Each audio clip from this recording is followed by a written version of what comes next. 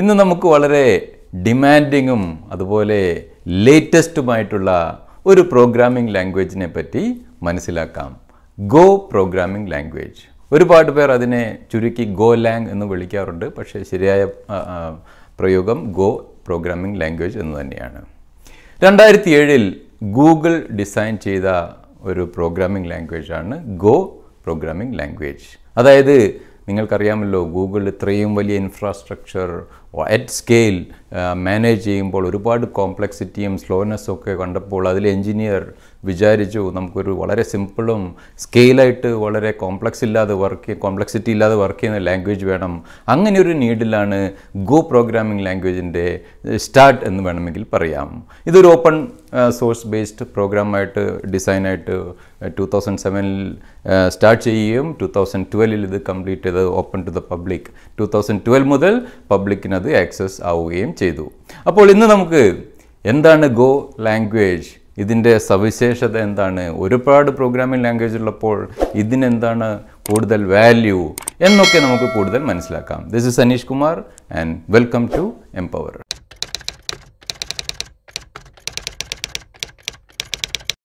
അപ്പോൾ എന്താണ് ഗോ ലാംഗ്വേജിന്റെ സവിശേഷത എന്ന് ചോദിച്ചാൽ ഫസ്റ്റ് ഓഫ് ഓൾ ഞാൻ പറഞ്ഞു ഗൂഗിൾ ഗൂഗിൾ ഒരുപാട് ക്ലൗഡ് ആപ്ലിക്കേഷൻസ് മാനേജ് ചെയ്യുന്നുണ്ട്. അതായത് ഗൂഗിൾ ക്ലൗഡ് ഒക്കെ നമുക്കറിയാവുന്ന കാര്യമാണ്. അവിടെയുള്ള എൻജിനീയേഴ്സിന് ഒരുപാട് കോംപ്ലക്സിറ്റി ഫേസ് ചെയ്തപ്പോഴാണ് ഇത് ബിൽഡ് ചെയ്തത് നമ്മൾ പറഞ്ഞു. അപ്പോൾ basically go is go language is develop for networking and infrastructure specifically. അപ്പോൾ അങ്ങനെയുള്ള ടൈപ്പ് ഓഫ് അതായത് ഡിവോപ്സ് എഞ്ചിനീയേഴ്സ് നമ്മൾ നേരത്തെ വീഡിയോയിൽ പറഞ്ഞ DevOps engineer who handles development and operations and deployment automating deployment cloud അവിടെയൊക്കെ എക്സ്റ്റെൻസീവ്ലി യൂസ് ചെയ്യുന്ന ഒരു ലാംഗ്വേജായി ഗോ ലാംഗ്വേജ് മാറിക്കഴിഞ്ഞു. പക്ഷേ ഇന്ന് ഒരുപാട് അതർ കാര്യങ്ങൾക്കും ഗോ ലാംഗ്വേജ് യൂസ് ചെയ്യുന്നുണ്ട് such as artificial intelligence data science എന്നതിനൊക്കെ നമ്മൾ ഗോ ലാംഗ്വേജ് യൂസ് ചെയ്യുന്നത് മനസ്സിലാക്കുക. പക്ഷേ ഇതിന്റെ ഏറ്റവും ഇമ്പോർട്ടൻസ് എന്ന് പറയുന്നത് നെറ്റ്വർക്കിംഗ് ആൻഡ് ഇൻഫ്രാസ്ട്രക്ചർ ഓട്ടോമേഷൻ അതുപോലെ തന്നെ ഡിവോപ്സ് എഞ്ചിനീയേഴ്സ് യൂസ് ചെയ്യുന്ന ഒരുപാട് command line tools DevOps engineers use ചെയ്യുന്ന ഒരുപാട് ടൂൾസിൽ ഈ ഗോ ലാംഗ്വേജ് ഇന്ന് യൂസ് ചെയ്യുന്നുണ്ട് നിങ്ങൾ മനസ്സിലാക്കുക.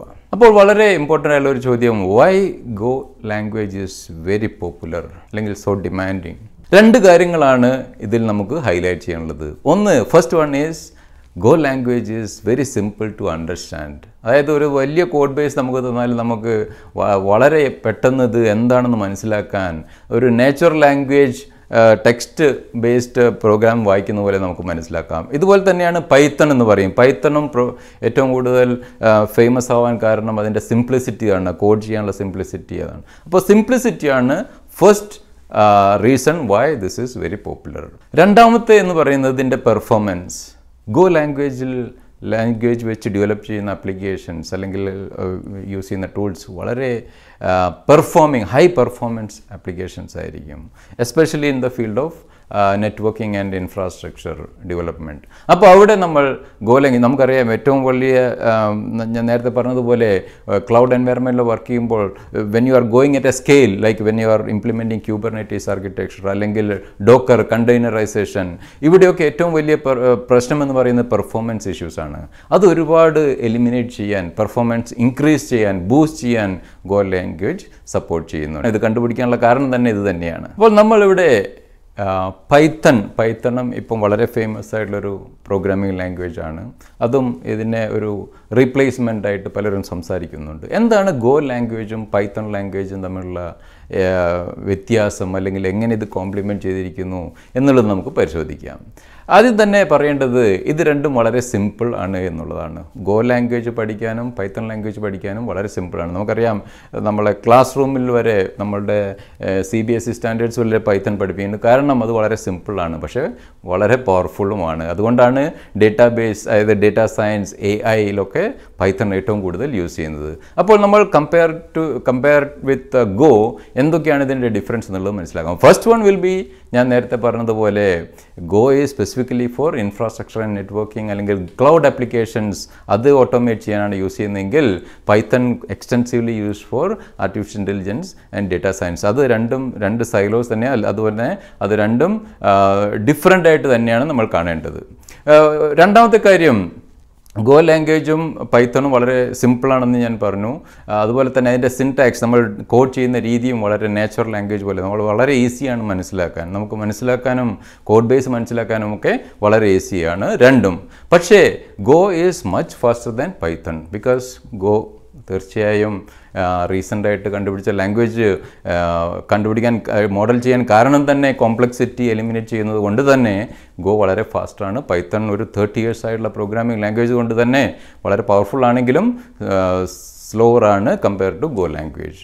വേറൊരു കാര്യം പൈത്തൺ എന്ന് പറയുന്നത് നിങ്ങൾക്കറിയാം ഈ തേർട്ടി ഇയേഴ്സ് ഓഫ് എക്സ്പീരിയൻസ് ഒരുപാട് ലൈബ്രറീസും ഒക്കെ നമുക്ക് ഇമ്പോർട്ട് ചെയ്യാൻ പറ്റുന്ന ഒരുപാട് ലൈബ്രറീസ് ഇതിനകത്തുള്ളതുകൊണ്ട് ആ രീതിയിൽ ഡേറ്റാ സയൻസ് അപ്ലിക്കേഷൻസ് ഒക്കെ എപ്പോഴും പ്രിഫേർഡ് ലാംഗ്വേജ് പൈത്തൺ തന്നെയാണ്. ഇപ്പോൾ വളരെ ഇമ്പോർട്ടന്റ് ആയിട്ടുള്ള ചോദ്യം should I learn Go programming language അതായത് ഇത്രയും പ്രോഗ്രാമിംഗ് ലാംഗ്വേജ് നമ്മൾ Java Python C plus plus എന്നൊക്കെ കേൾക്കുമ്പോൾ നമ്മൾ ഗോ ലാംഗ്വേജ് പഠിക്കണോ? അപ്പോൾ നിങ്ങൾ മനസ്സിലാക്കേണ്ടത് നിങ്ങളൊരു കരിയർ ഈ ക്ലൗഡ് ടെക്നോളജീസ് ഡിവോപ്സ് എഞ്ചിനീയർ അല്ലെങ്കിൽ ഇൻഫ്രാസ്ട്രക്ചർ ഓട്ടോമേഷൻ അപ്പോൾ അതിലൊക്കെ നിങ്ങൾ പാഷൻ ഉണ്ടെങ്കിൽ വളരെ ഇമ്പോർട്ടന്റ് ആണ് നിങ്ങൾ ഗോ ലാംഗ്വേജിൽ ഗോ ലാംഗ്വേജ് പഠിക്കുക എന്നുള്ളത്. അതുപോലെ തന്നെ ഇപ്പോൾ എല്ലാം simple and faster and complexity less ഉള്ള ഇതിലേക്ക് നമ്മൾ മാറിക്കൊണ്ടിരിക്കുമ്പോൾ ഒരു ലേറ്റസ്റ്റ് ട്രെൻഡ് എന്ന നിലയ്ക്ക് നിങ്ങൾ ഈ ലാംഗ്വേജ് തീർച്ചയായും പഠിച്ചിരിക്കുക എന്നുള്ളതാണ് എന്റെ അഭിപ്രായം. അപ്പോൾ ഗോ ലാംഗ്വേജിനെ പറ്റി നിങ്ങൾക്ക് ബ്രീഫായിട്ട് മനസ്സിലാക്കാൻ പറ്റിയെന്ന് വിചാരിക്കുന്നു. എന്തെങ്കിലും കൂടുതൽ സംശയം ഉണ്ടെങ്കിൽ ചോദിക്കാം. നമുക്ക് അതിന്റെ റിലേറ്റഡ് വീഡിയോ ചെയ്യാം. അല്ലെങ്കിൽ കമന്റ് ചെയ്താൽ ഞാൻ റിപ്ലൈ ചെയ്യുന്നതാണ്. താങ്ക് യു വെരി മച്ച് അടുത്ത നെക്സ്റ്റ് വീക്ക് മറ്റൊരു വീഡിയോയുമായി കാണാം. Thank you and stay safe